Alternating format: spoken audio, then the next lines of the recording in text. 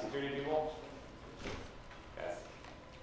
Um, and they come up with every year a list of top, or every few years of the top 10 most prevalent vulnerabilities on the web. Of course, there's all kinds of controversy surrounding those, but cross-site scripting is usually always near the top.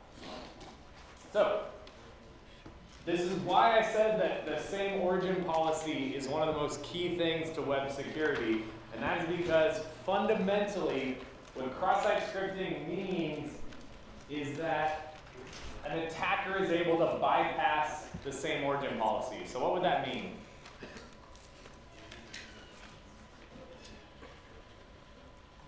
Does it mean I can upload code from a different site?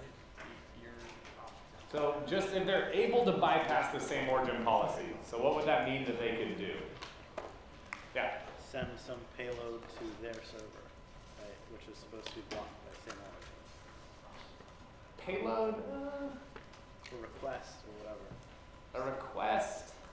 access the database using Ajax when you post some JavaScript uh, which gets executed from, uh, with the same origin. You can use an Ajax to access files or any data on the server. So let's think about this. What can so what can some JavaScript code running in the same origin do? So what can let's say Facebook.com's JavaScript do? response back to the It can send responses back to Facebook.com. What else? Access files on its server. It can try to make requests to files on that server. What else? access the CSRF token. Access all of the access all the HTML that was returned from that page, including any types of tokens or forms. What else? What else can it read and look for? Steal the cookies. Cookies, it can read the cookies, right? So the core thing to think about is, okay, now if we're saying that JavaScript that an attacker controls is now able to execute in the same origin as Facebook, what capabilities do they have? And it's all of those things, right? So the attacker could completely control the DOM of Facebook.com and completely change the layout. The attacker has access to the cookies that Facebook.com has access to. It can make requests, uh, as we'll see, all kinds of cool stuff. So this is the core. So at the core, if you can bypass the same origin policy, that really is what cross-site scripting is. We'll see that the name cross-site scripting is a bit of a misnomer. It doesn't really mean anything. The core is being able to bypass the same origin policy. So you can even do cool stuff like, I think back in the day, you used to be able to like trick the browser by using Unicode or something to think that the iframe you were loading was in a different same origin, right? So you can try to find bugs in browsers based on how they compute the same origin to exploit those. That would be, I guess you probably wouldn't call those a cross-site scripting attack, but they would definitely have the same result of bypassing the same origin policy. So because we're scientists, we like to classify things into neat little categories and boxes. So here for cross-site scripting, we categorize them into two different ways. Reflected attacks, which is basically when, so we think about how, so now the question is, so we know the result is that cross-site scripting attacks bypass JavaScript's same origin policy. The question is how. So how does the browser how does the browser assign a same an origin to JavaScript code?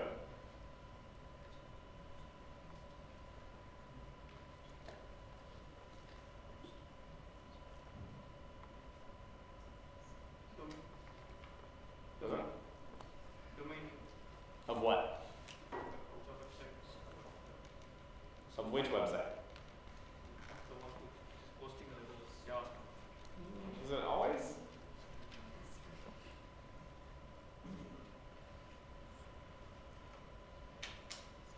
It's making me want to draw, but I didn't install the drivers, so I don't think it's gonna work. So it depends on where the page comes from, right? So let's say, so this is why it's a little tricky just thinking about the JavaScript there. So let's, oh no, wait. Oh yeah, that's fine. Okay. Alright. I promise I won't draw. There you go, super sad.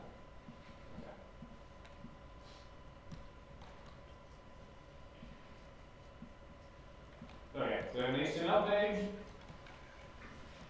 So, because we're good people, we'll use example.com as our domain. Why do you use example.com? Can I just use any random name if I just want something that's not for value? Yeah, so example.com is actually an RFC, so the, I can't remember who, but somebody guarantees that example.com will never be owned by anyone else, and you can actually use it. I think they own .com.org. So there's an RFC that specifies this, so you should always use example.com in your, your examples. Um, I've heard of cases where like people use a different domain and then somebody buys that domain, and they get a lot of people running stuff in their command line, like pinging that address or doing random things. And it's like super annoying. I think something has like test.com or something like that, and they get a lot of emails from test systems. So, if this is the domain that I go on, and I have, what type of JavaScript is this? Yeah, okay, inline, so. So this JavaScript is an inline JavaScript. What is the same origin domain of this JavaScript? Example.com 80 HTTP, right? So port, host, and and uh, host name, port, and protocol. Cool. So this definitely makes sense. Somebody said, hey, the JavaScript wherever it's sent from is here. Now what happens if I do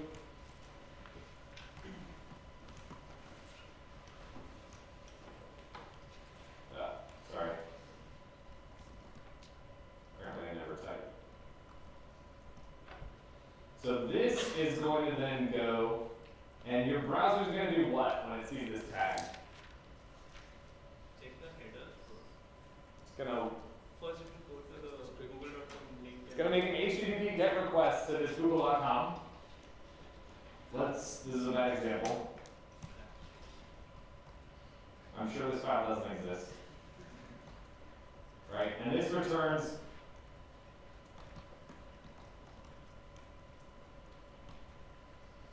this returns this. Right? So what is the origin of this code?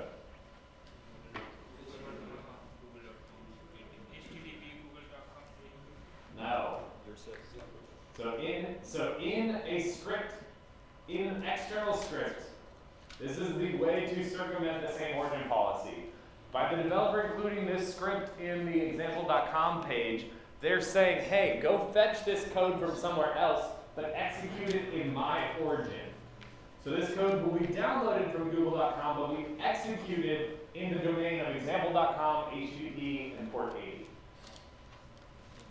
So this is the fundamental way to circumvent the same origin policy. Now, the browser, when the browser gets, let's say this is the HTML response that the browser gets, right? How does the browser know which the inline JavaScripts and the external JavaScripts? Well, they're the same user script.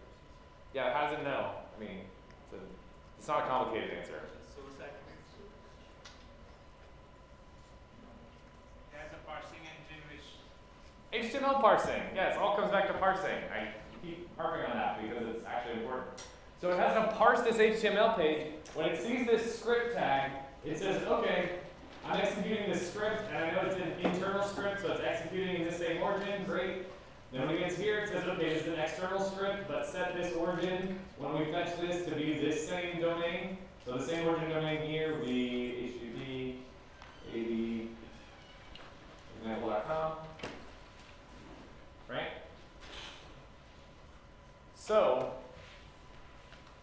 what happens So, okay, so fundamentally, the way an attacker, uh, sorry, sorry, the way we can circumvent the same origin policy is essentially either through external JavaScript code, right? But I guess the key question is, what JavaScript code did the developer of example.com want us to execute?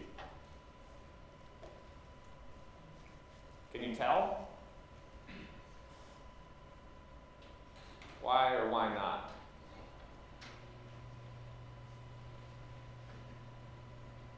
Repeat the question. So, okay, I'm trying to, I'm trying to, I'm trying to build us somewhere, but You can't tell because there's just a link there. right. So fundamentally, the browser has absolutely no way to know which script tags the developer intended for there to be versus which ones were maybe injected by a an attacker. So let's say the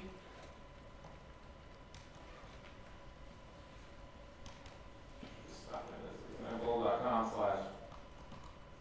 Let's say this is a PHP script It looks something like this, super simple, echo get. So is this valid PHP code? I mean, it's a terrible program, I guess, so fine, we'll be, it's not very good, we'll just throw our own HTML tags. Just be good people. Right, so super, stupid simple, but something that just hopefully it will illustrate a point. So, this is the code. If we access user foo, what HTML are we gonna get? Just something like this, with this replaced with foo? Now, when we look at the PHP code, what JavaScript did the developer want us to execute? Echo the question. None. Zero JavaScript code, right? There's absolutely no JavaScript code in this PHP function, right? Now, what if we wanted to execute some JavaScript code? What can we put in as the value for the foo, uh, for the u variable? Tags, uh, and then code inside of it. Yeah, so we can use script tags.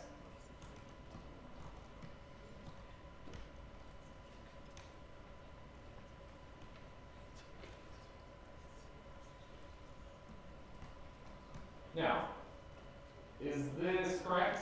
Can we just send this? What do we need to do? Yeah, we need a URL encode this u parameter, but let's say that it's already done. Right?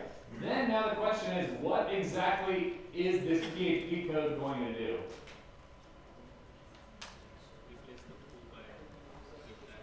Yeah, replace the foo with whatever we passed in here, which is this script tag. And then when your browser gets this response, what's it going to do? It's going to parse it, and then it's going to execute the things inside those script tags. And then it's going to show an alert box. So that JavaScript code that got executed, right? It's executing in the it's in the origin of HTTP example.com 80. But where did that code come from? Did it come from the developer of example.com? No, it came from, well, here it's coming from the parameter, but, well, now if I wanted as an attacker to get you to execute code in the domain of example.com, what could I do? Yeah, Put a script with a URL to your code, and then how do you get me to execute that? send that, Send you this URL. send this URL. Send the URL to me and trick me to click on it, right? So send me an email that says, oh hey, I found some students cheating in your class, and then link me to this. Like, immediately as I said it, I was like, yeah, that would get me to click on a link. Right?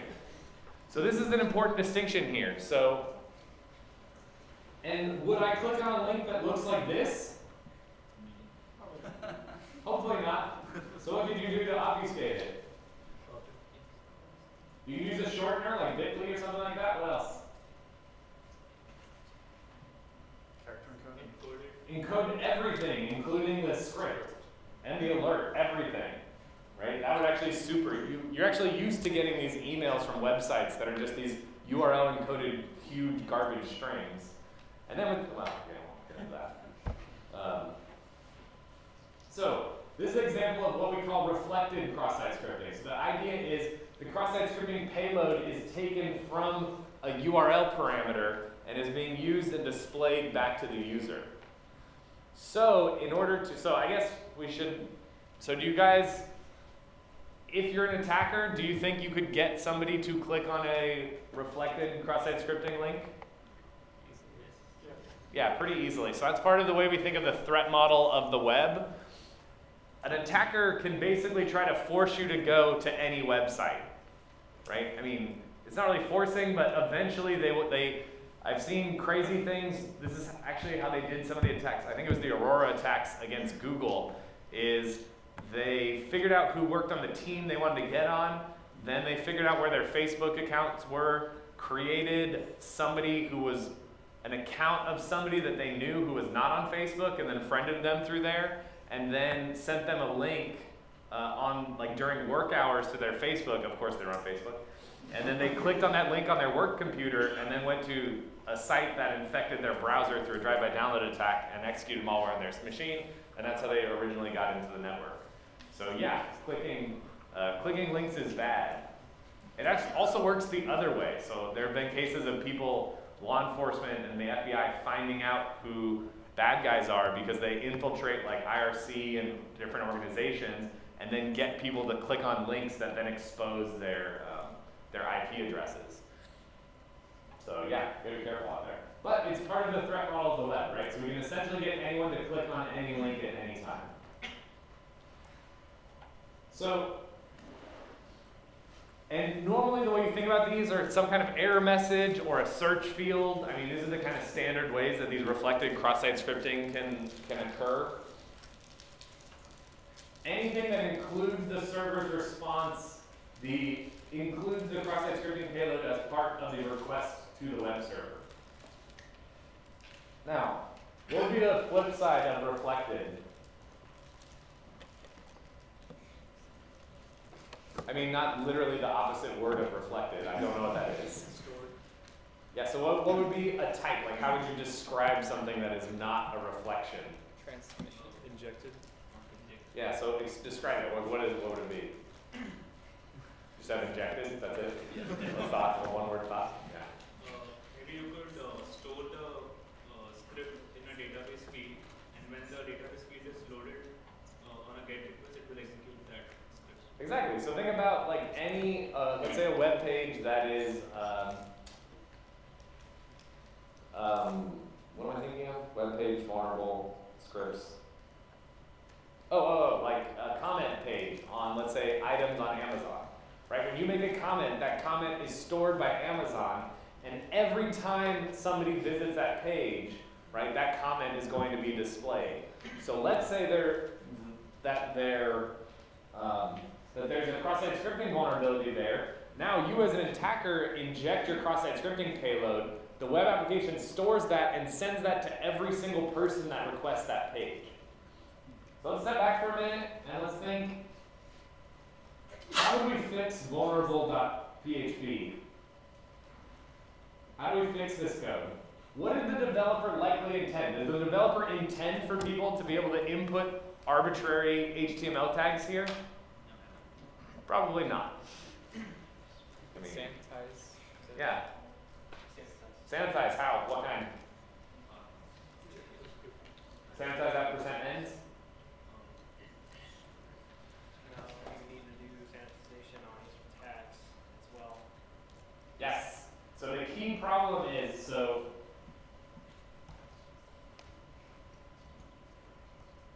Uh, anybody PHP? Is it just HTML entities? Yeah. Special chars. I'm not that baby. Siri doesn't have that functionality yet. So by doing this, now what will be the output if I tried this payload? A string, not the actual tag. What does HTML special characters do? Is this gonna change? No. Is this gonna change?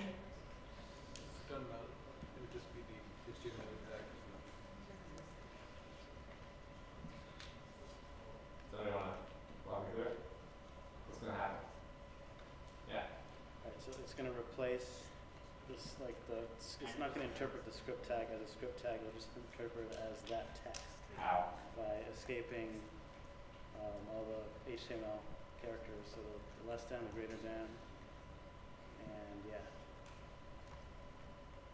And so on and so forth. just those actually.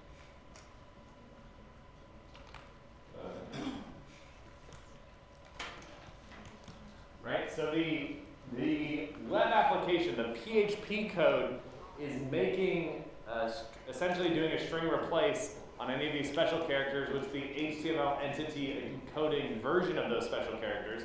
So now, when the browser gets this response and it sees this ampersand LT semicolon, what does it do?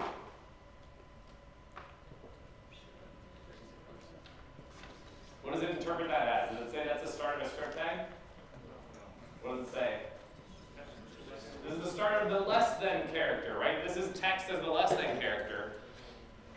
And it'll keep going. So you will actually see in the HTML of this page will look, it will be a start script tag. It will say alert, tick, XSS tick, and then an ending script tag. You will actually see that as text. Right? We get the distinction here, this is super important.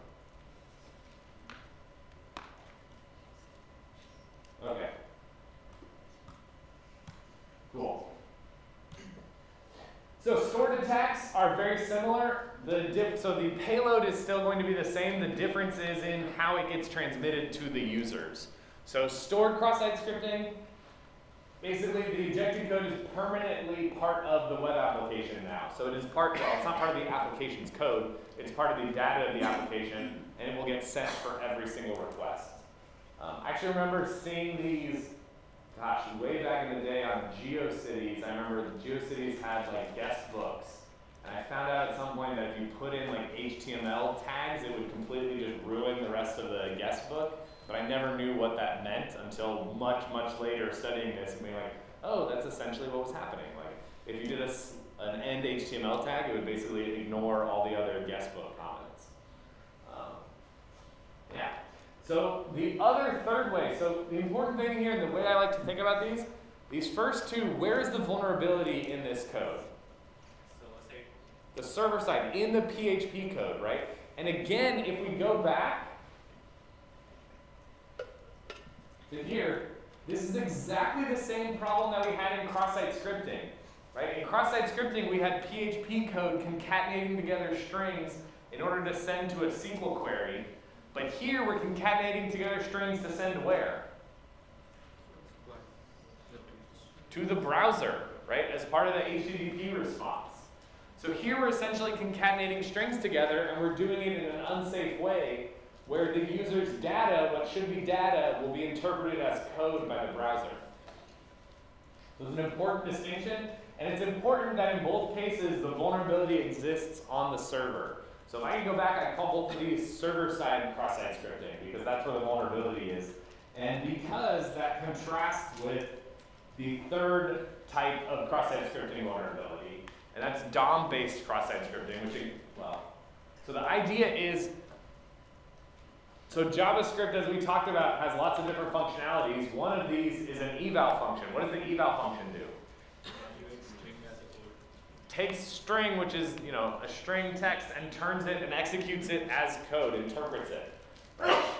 And so now, if the attacker can control that JavaScript, right? Like let's say it grabs one of the parameters and takes that and then injects that into the page, or just calls eval on it, right? Now we can put arbitrary code in that parameter, and now that is a cross-site scripting vulnerability.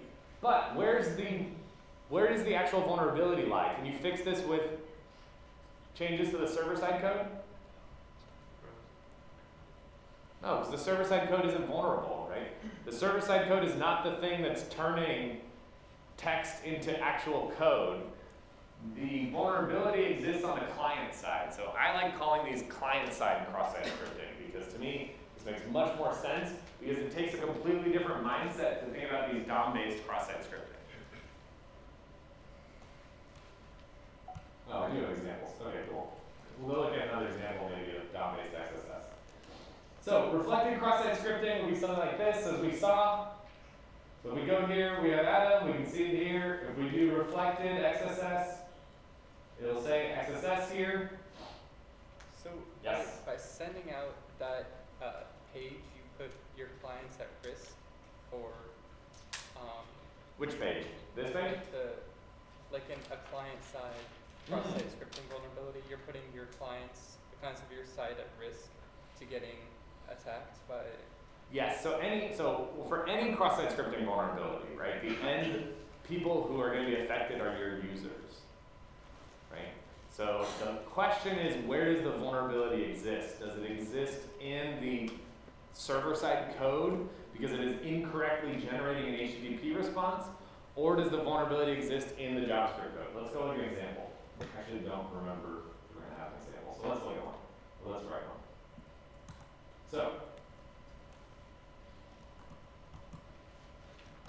Now, all right, so I'm going to go to this page, and it's going to give me a constant output, right? So nothing, so it's going to give me nothing fancy, right? There's nothing in here. Um, it's not doing any server-side processing of code. It's always giving me constant output. Uh, but let's say this one does something silly, and it does this one. I'm going to need people's help. Uh, what is it? Location dot hash. How do you get everything that's after the hash? I think it's just location dot hash, right? Right. Let's say this is a search term. I don't know. Whatever. Doesn't matter.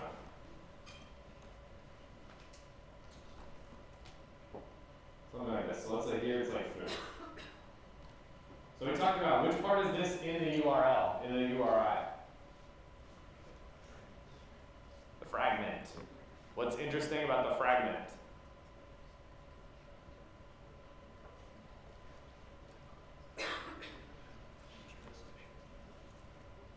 What is it used for? Jumping to certain parts of the page. Sub-resource identification. Yeah, so identifying, so remember, a URI specifies a resource. The hash, everything after the hash represents the fragment, which is the sub-resource. So what part of that resource? Realistically, it's used mostly in your browsers um, because if there's an element with this same ID, so if you have an, a DOM element with an attribute ID equals foo, it will automatically scroll down to have that be where foo is. Now, the super interesting thing is browsers, because they know that the fragment um, is only meant for the client side, right? It only affects the user agent. Your browser never sends the fragment part to the server. So when you make a request to this page, the web server is only going to see a request for example.com slash dom.html. That's it. So what this means is, so now if I wanted to execute code, do I do this?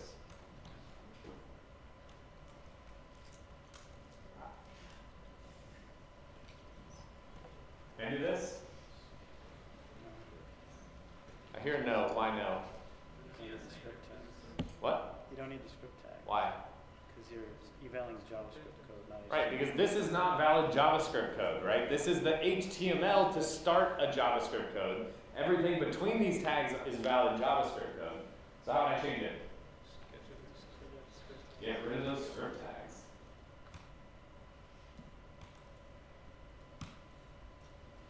So, I guess I can include it, just because it's nice. So now the problem is there's a vulnerability in the JavaScript code I'm sending to the client. And the super interesting thing part about here, and it's kind of a fine distinction, but when I sent this request, what did the what did example.com see as the URI I was trying to access? The entire thing with the script tags, right? So the example.com could actually be looking at their logs to try to see if there's any types of attacks like these. And actually, but on the flip side, you're going to be attacked like this all the time, so it's kind of a fool's errand to look at all of them, but at least you have a log of this happening somewhere. What does example.com see in this, this case? DOM.html and nothing else. So they don't see any of this attack on the user. Cool. There's also other interesting distinctions here. Is there a question? Yeah? Uh, apart from the URL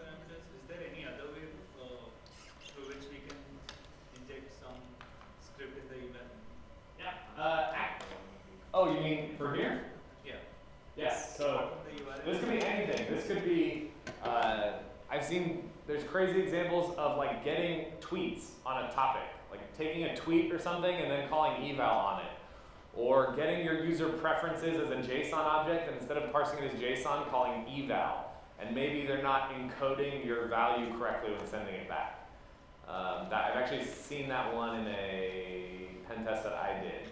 Was they your preferences were they posted, I think, as like an object, but they weren't validated as an object, and you were sent back whatever you sent back, and they called eval on that.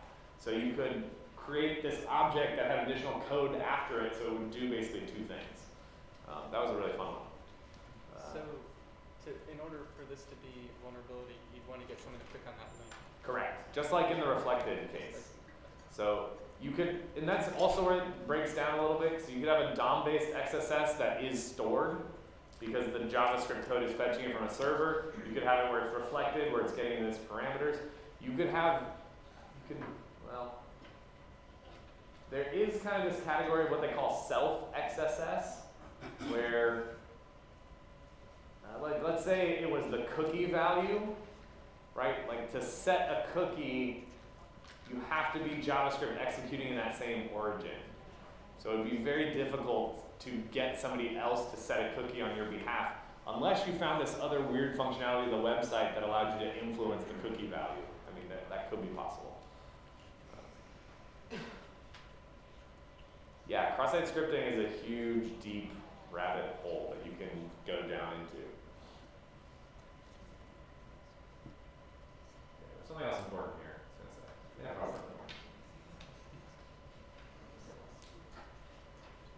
We'll come back that, that, okay. Reflected XSS, so we can see something like this. Oh, oh, oh, that's a good one. So, if you try this in your browser, and you're using a modern browser, it will most likely not work. Why?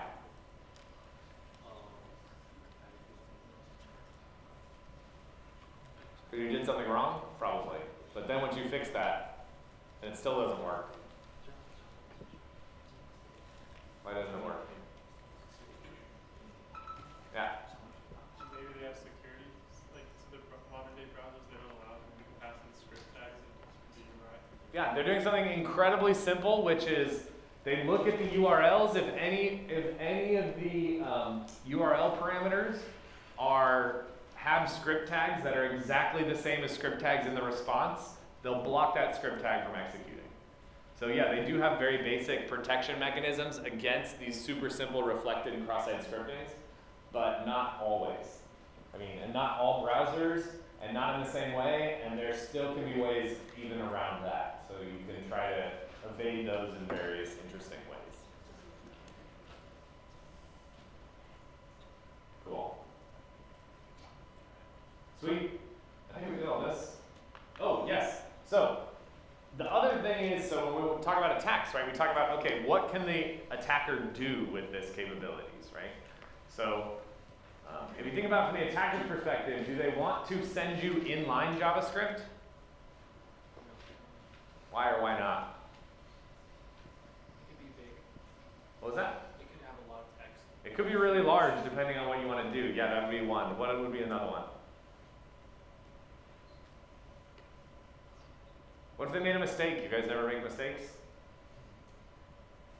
True. It allows them to edit it, change over time. Yeah, so if we do, if we inject instead of an inline JavaScript, we inject an external JavaScript to something that we wrote, now that will be fetched and executed from each of the browsers that we exploit. We also may be able to get their IP address that way, we may be able to get other information about them. The downside is it gives them a place to kind of block and stop our attacks because we have to put some kind of source that we get in here. But maybe we can point it to like a, um, you can use like a GitHub gist or something like this, like a, a random one or something like that. Uh, there's probably ways to get around that. Okay, so what can we do? Right? So we can, as we saw we can, we talked about we can steal cookies. If we steal cookies, then, then what? We can authenticate as. We can try using those cookies to authenticate to that user to the website. Exactly. What else could we do?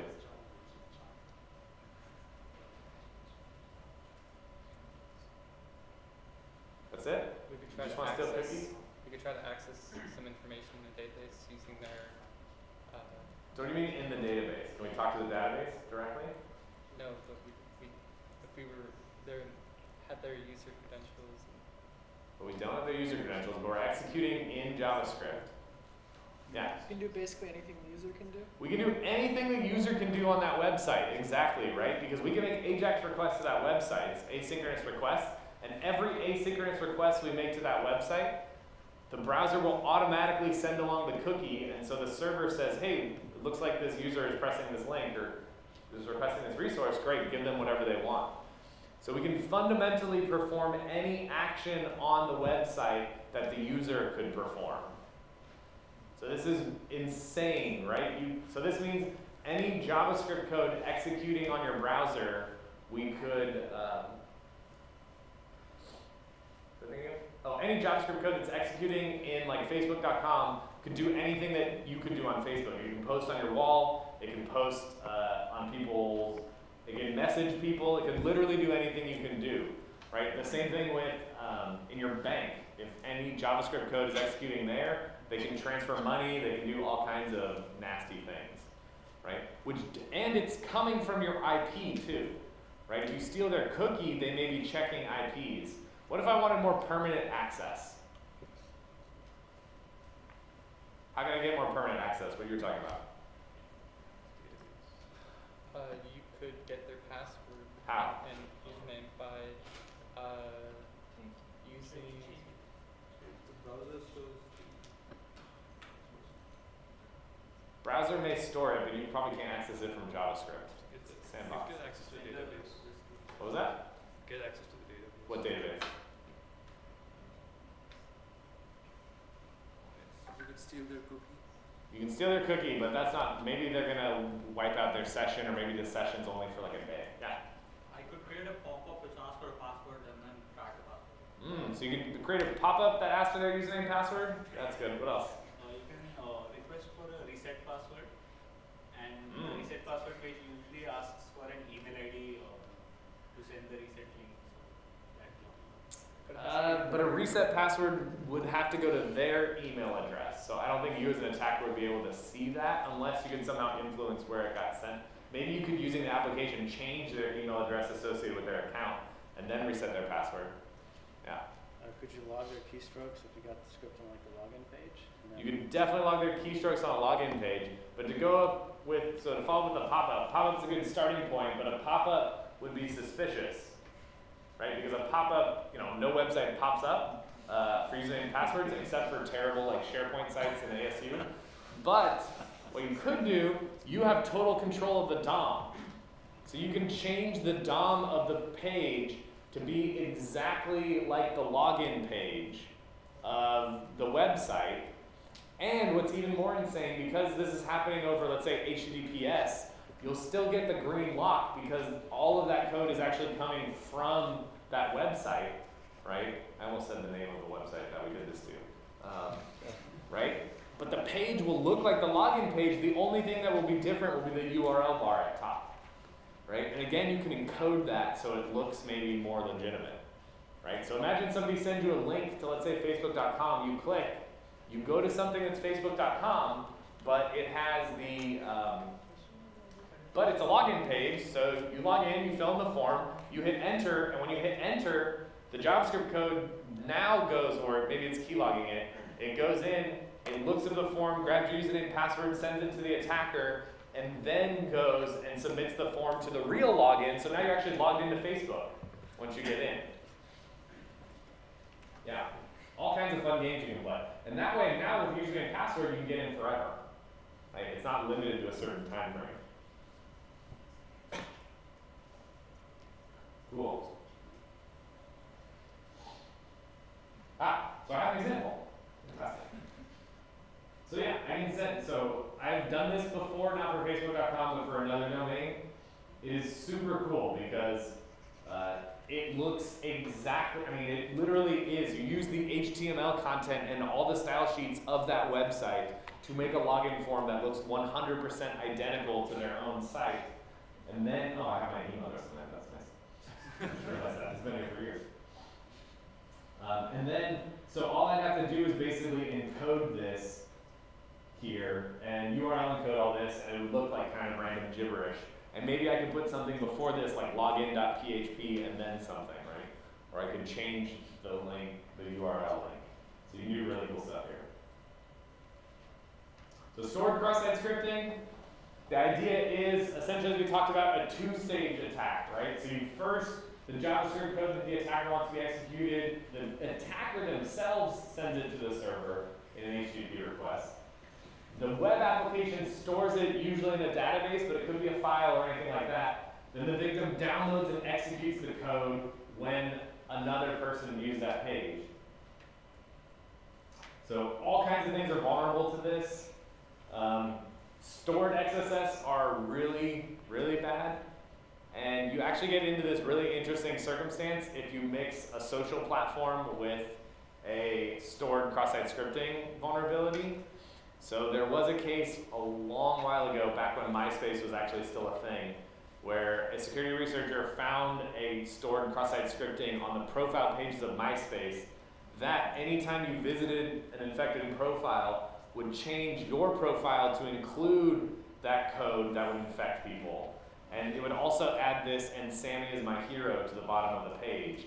And so you see, like in the span of 24 hours, like a millions of people had this, and Sammy is my hero at the bottom of their profile. So this thing spread throughout the network. This also happens with Twitter cross-site scripting vulnerabilities every once in a while. So Twitter will have something like this, and it will just spread throughout the network because, of course, the first thing you do is you write a tweet that includes this thing, right? And then anyone else who sees that that's vulnerable writes a tweet, and then it spreads virally throughout the network. Okay, so JavaScript. So actually getting to JavaScript execution is not always as simple as we have here of script tags. So often web applications perform some kind of filtering or sanitization mechanisms, and if they're the only way to be 100% secure is to use something like this, HTML special characters. Kind of, which I'll talk about in a second.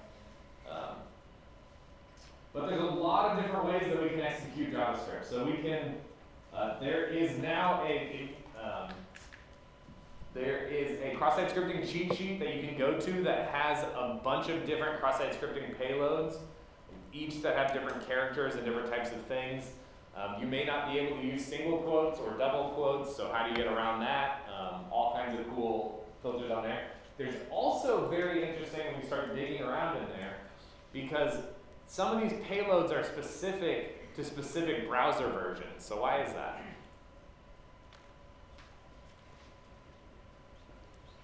Yeah. Implementation. Yeah, so each browser implements HTTP, uh, sorry, HTML parsing differently, right? And so depending on what browsers do in the case of errors, maybe they do something that you can actually take advantage of. And so this would be a simple type of thing. We can encode it, so maybe encoding we can get around. There may also be a web application firewall in the way. We can inject so the other cool thing is we may not even need script tags at all. So if somebody's filtering on script tags, like the script keyword, uh, we can use body. So the body tag has an onload event, an attribute that that value is JavaScript. So whatever's inside there will be interpreted and executed as JavaScript when the body tag loads. Super interesting one. Let's say maybe we can use bold tags. If we use the on mouse over event, this is a JavaScript event that will fire when the mouse goes over that part of the page. And so then whatever's inside the value of that attribute will execute. What's the downside here? The mouse over it. Yeah, they have to mouse over it. So how can you help them? You make it span the whole page. Yes, this is actually a super cool thing to do. You make it, uh, you can use sty- uh, CSS style sheets to make that element be the entire width of the page, and you can even make it transparent so they can still look at the rest of the page. And then as soon as they, I think right when you go to the page, if you don't move the mouse, it won't fire, but you move the mouse any pixel and that thing will fire. Which is a lot of fun to play with. And then you can even have the JavaScript get rid of this element now, so you don't have multiple events firing. So you can do anything in JavaScript. So you can then move that away, and so now the page looks exactly the same. Uh, this is actually one of the easiest ways of doing this, that you get this auto-loading behavior. So the idea is you create an image tag, you create a source, usually you want to, you can put it to some file that doesn't exist, and then image tags have an on error handler, which will trigger whenever there's an error loading some of the content, and so that is JavaScript code in there that will run when there's an error. So you want to basically include the image source to something that doesn't exist because when it doesn't exist, that's when the error handler gets triggered. And so this will happen automatically.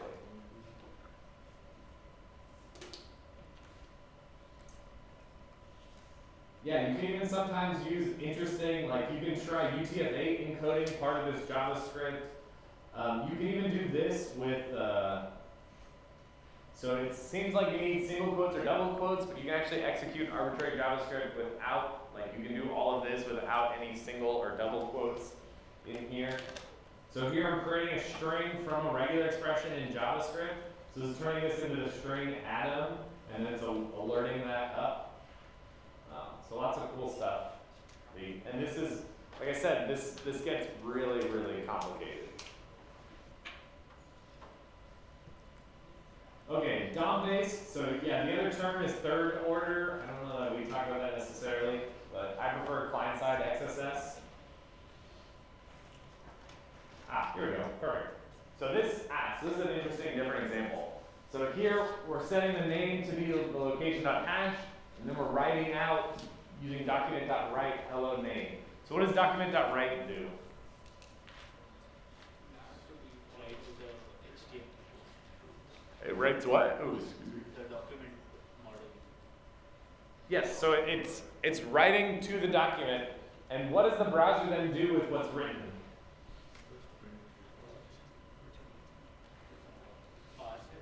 Parses it as HTML. Yes, which means any script tags in there will be parsed and executed as well. So if we went to something like this, uh, example.com, test that HTML, hashtag Adam, it will be go here into name, and then we'll print out hello Adam. So it will write out to the document hello Adam. Now if we go to example.com, test.html, hash the script, now, why in this case did we need to use the script tags versus in the previous DOM we needed to just do the alert? What was it? Yes, because we're using document.write, the HTML parser is parsing the page, whereas eval assumes that it's going to be JavaScript code that it's parsing. Cool. Ah, yes. So the wormable cross-site scripting that I talked about, so there's a case in 2005 was the Sammy is my hero case. Uh, TweetDeck is, there was a vulnerability in the TweetDeck application in 2014 that allowed a wormable cross-site scripting vulnerability. Oh, so this is cool. So, so the Sammy is my hero had a, uh, he wrote a blog post all about what he found. And so if you look, this is a screenshot from back then. If you look, you'd see all these examples of this, uh, Sammy is my hero. And then you can see this one here is tech support guy forums, MySpace got hacked? Question mark, question mark. Um, and then even on MSN search, which is a huge flashback, is Sammy is my hero. And so, oh, the other thing that they would do with him is they would all friend him, Sammy. So all the JavaScript code would not only propagate themselves, but also friend him. And so he has almost a million friend requests here, almost as popular as Tom.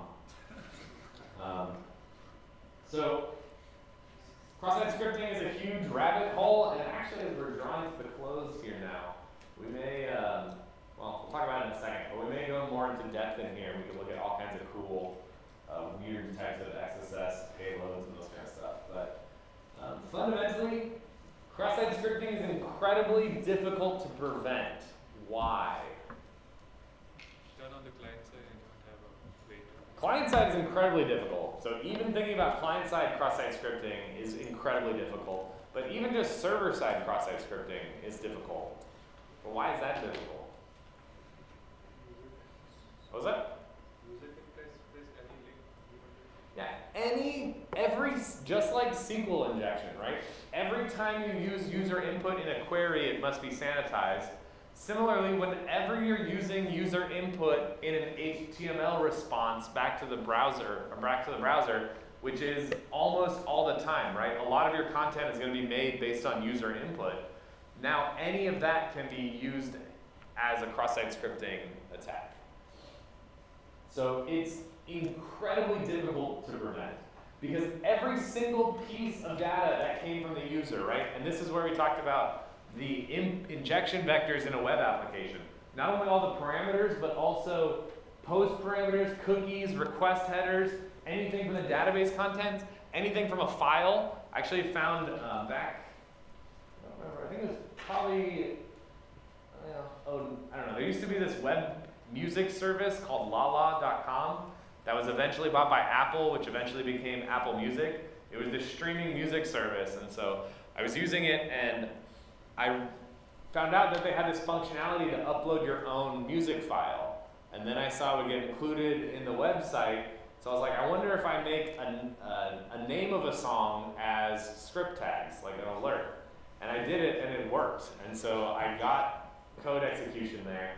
And then I was able to create a playlist so that I could send people the link to that playlist, and then it would be basically a stored cross-site scripting on anybody who visited that playlist. Um, and then I emailed them, and I literally never heard from them ever. And then they were bought by Apple, so I'm sure they could care less. And the entire website went away. It's actually a really cool model because they had this thing where you could stream music for like 10, you could unlimited, you can stream any song once, and you could do unlimited streaming for like 10 cents. So you could just like buy albums for dollar or so. I don't know. It's, uh, it was an interesting model. Anyways, so this goes into the file contents. Literally any place that user input is used, right? And it doesn't need to be to that application. It could be anything else. They're pulling in any third-party content. Languages. So this is actually what gets to be incredibly difficult. So let's go to the, okay, I want to go to the example. So we go here. So the solution here is pretty simple. We talked about it. HTML special characters. So let's think about a different page. Let's say it's like this. We'll still say, we'll do this. Uh,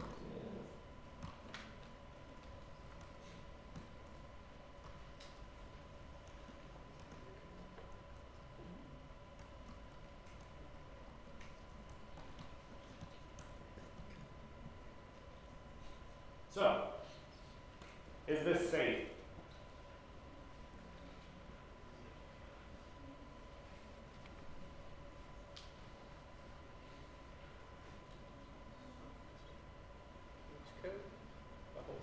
Your instinct at first should be yeah, right? Because I took something that was safe, right? I'm using the correct sanitization function, and I just moved it, right? But I didn't move the code itself. Where did I move it?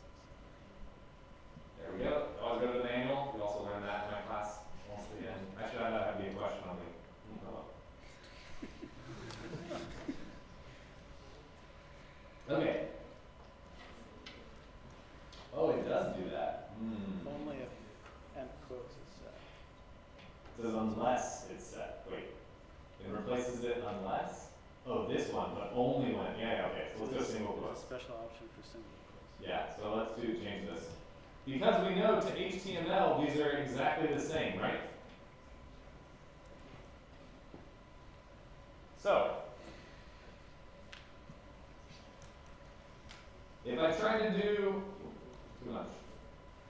If I try to use our previous payload,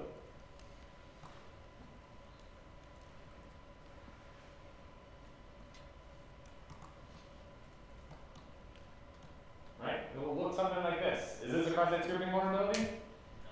No, definitely not. So now what character do I need to escape from outside of this attribute? Single quote. And then what do I need based on the HT HTML spec to start a new attribute? Space. Well, we'll be awesome there since we all know how to read URL encoding now. Percent 20.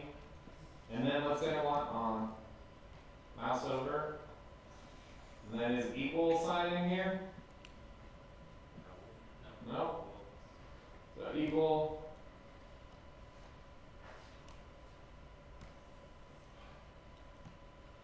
Now what do I have to worry about? Yeah, the, inclu- the second single quote that's going to be added there. But actually, we tried out in the browser first, but a lot of browsers are very tolerant of extra errors in there, so it'll just probably ignore that second one. So now, when we have HTML special characters applied to here, does anything get changed? So now the HTML that gets sent back to us is going to be this. This. And now have we executed JavaScript on this page? Yes, so we've successfully performed a cross-site scripting attack, even though they're using sanitization, what seems to be correct sanitization. So what's the problem?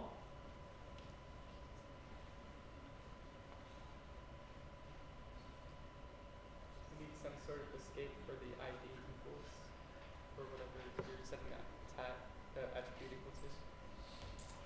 Yeah, so fundamentally, well, the ID, so the problem is, right, when the user input was being output in between tags, right, like here, what the attacker needs to execute JavaScript is an opening script tag, right? Fundamentally, you can actually fix that by just changing every less than symbol to ampersand LT semicolon. Maybe. That may not be 100% secure. I don't know. Eh, maybe. Can't remember. But, anyways, that's the character they need, right? They need a less than symbol in order to transition the parser to start interpreting a script tag. But here, now when I move that exact same code to here, what does the attacker need to break out of where I wanted them to be? A single quote, which they may not be which the sanitization that I'm using may not be encoding correctly.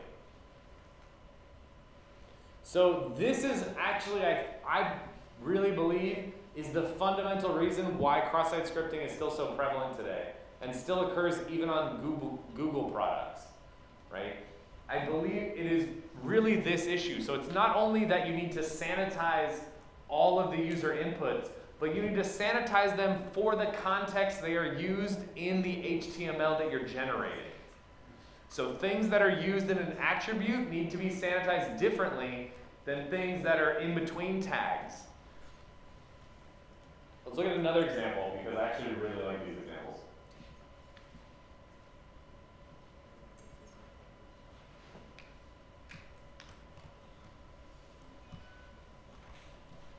So has anybody ever written code similar to this? It's okay, don't the. Never to be afraid.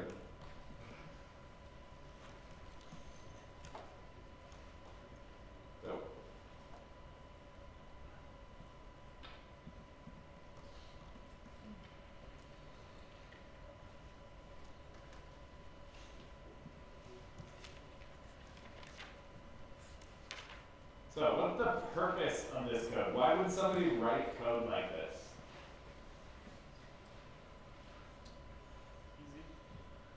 Easy. It's easy? It's easy to do what?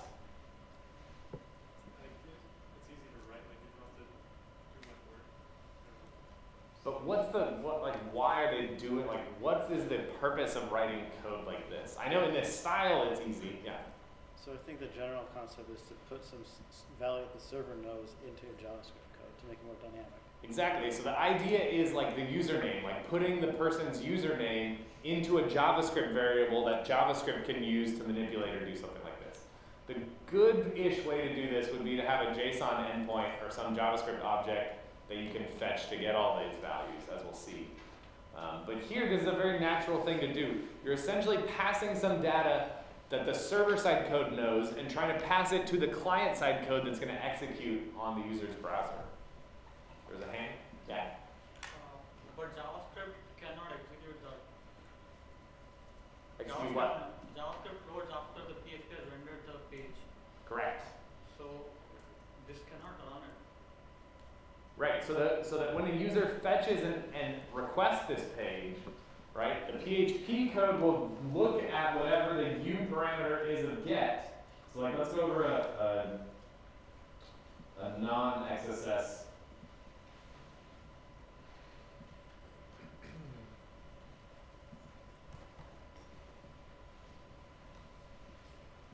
Who do you guys this now?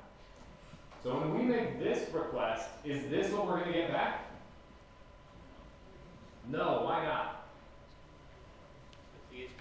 The PHP code executes at that point, then it gets this parameter here, CSE 545, gets the value here, passes it through the HTML special characters function, which doesn't change it at all, and then it passes the echo function, which outputs it, which means this entire thing is gonna get replaced with this. So this is the result that our server, our browser will see back, right? The server doesn't know about any of the PHP code that's happening. And now this JavaScript code, I guess I should add like a dot dot dot here, right? Because this is not interesting in and of itself. But there's, you know, something else here that's trying to execute and do various things here, right? So now how do we exploit this? And can we exploit this? Yes. Debug.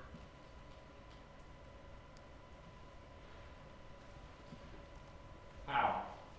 Change CSE five four five to include a JavaScript code in between and use single quotes. to- So let's think about this. Can I do this?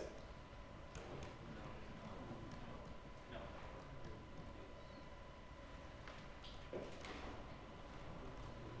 Can I do this?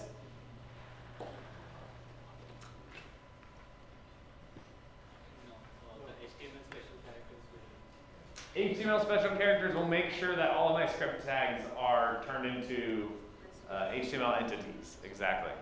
So this would not work. So we can, I mean, I don't want to do it and do all the other ones, but you this you can you can write this code. You can actually run these programs, right? It's not it's not very difficult. So that's not going to work. So then what do I do? Can I just do this? What if I did this?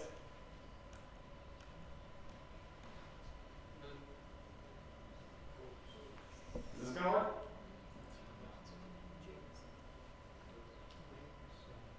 Crash. It's gonna crash. Oh, shoot. There it is. What about this? Good call. Sometimes you ask questions you don't know the answer to, and get good results. That's just It a will string. be a string other assignment. Exactly, so name will be this string. Right? In here, just like this. Right? And the important thing is now we're not talking about the HTML parsing, we're talking about the JavaScript parsing. Right? Because JavaScript is going to parse this and it's going to say, okay, we have a variable name and it's being set to this string. Great, this is valid JavaScript. So now, how do I get it to actually execute my alert function? Yes.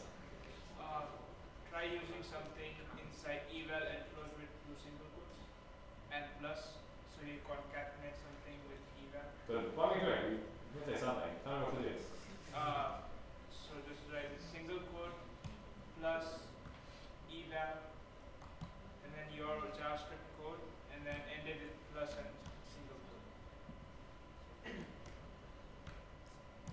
Like that. Alright, let's get this in here, and then put this in here. So what's gonna happen? So are we gonna call alert one? it's not a string Yes, we'll still call it first though. Yeah. So we'll try to concatenate these strings together. We'll call the eval function, but before we do that, we'll call alert one, which I think will return null or undefined. And so we'll try to eval the string undefined, which I know will probably do nothing. So we actually don't even need this eval here, right? Because, because why? Why don't we need the eval? Yeah. Uh, it's going to run alert one as a function because it's JavaScript. Because we are injecting into JavaScript code, exactly. We are already executing JavaScript. So we get rid of this, get rid of this. We'd also need to, no, not you again. We'd also need to make sure we URL, URL encode these pluses, otherwise they would end up as spaces. So this would be something super important. But we'd see something like this. And so now we'd be able to execute, so let's say we don't want to do alert one, we don't want to do the pluses, we want to execute some arbitrary statements, what would we do? Yeah, use semicolons, so. I use a semicolon, I can do alert one, I can do alert two. But then what do I do afterwards? So just like SQL injection, everything that I put will be appended to my query. Yeah, so I can comment it out. That would be a super easy way to do this. So that would go into here. And so, oh, let's see, this is gonna fail, right? Because we have this, well, it'll have this single quote all the way over to here, right? So we didn't actually execute anything. Wait, no, you're, I, I didn't include that character. We're good. Okay, name is there. Alert one, alert two, alert whatever we want, as much JavaScript as we want here. And then this will comment out the rest of this code, and so we're good to go. So this is kind of what I consider as dynamic JavaScript. So you're, so this is not a DOM-based cross-site scripting. Why?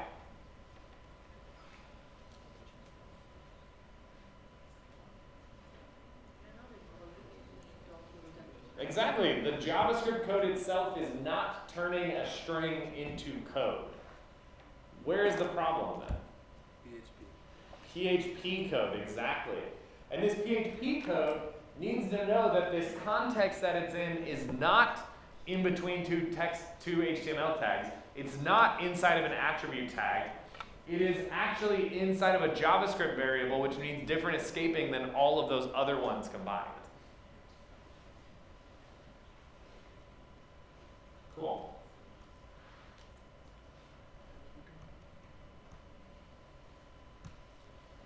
Okay, yes. I'm not going to go into all of these. Because this kind of says in much more ver- verbose way of what I've just said here. Um, so all of these different, this kind of lists all the different contexts that con, context? I think it's context. Context that you can have JavaScript. Um, and that, sorry, that you can use user input in HTML and different characters that must be escaped depending on the context. Uh, yeah, super interesting. So, oh, there we go. Cool. All right. Oh, so the other one, there is a really good prevention cheat sheet. The key about preventing JavaScript is you should never try to do it on your own. So you should go back to the. So part of the problem is oftentimes people want people to use some HTML, right? They want people to be able to write bold tags or write links or something like that, but they don't want them to be able to execute JavaScript. But that's a very difficult problem, and it's very hard to get right. So you're much better off working with blacklists. Okay. Cool. Any questions on cross-site scripting stuff? All right. So what do you want to do on Monday? Review. Seems lame. What do you want to review? well, how do you want to do review then? If you want to review, I'm not gonna. You can ask questions. So this is what I was thinking. We could either do. I could either prep something about, let's say, XSS or SQL injection, or maybe I could talk about current modern defenses against all these things. I could talk about like click jacking or frame jacking. I could talk about attacks like this. Or we could do maybe in class web hacking or something. Like I can set something up and we can try to pen test like a web app. I think that one sounds fun, right? Um, Less work for me and lots of fun for everyone. Okay, so bring, and that could be good prep for the midterm. So bring, uh, bring your laptop. I'll try to send out an email, but bring your laptop, install Docker on it if you can, because I have the um, vulnerable web app I wrote for the Why Johnny Can't pen test paper, the WackoPicko that we can use and play with. So uh, that should be really fun. So we'll do that on Monday.